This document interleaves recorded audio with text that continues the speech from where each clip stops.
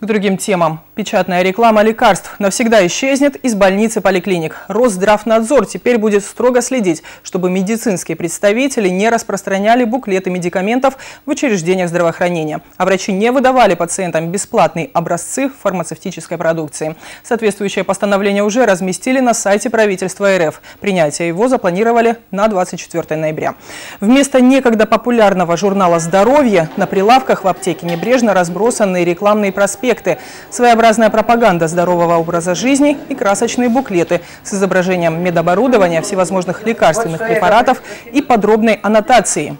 Реакция населения неоднозначна. Одни игнорируют сомнительную информацию, другие от экспериментов не отказываются. Тем более, если врач рекомендует.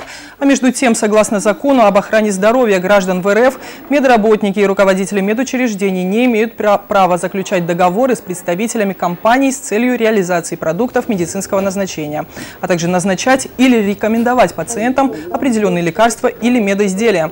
Также они не могут принимать представителей компаний, выдавать пациентам бесплатные образцы препаратов, выписывать рецепты и назначения на рекламных бланках. Принятие закона считают местные парламентарии весьма своевременно.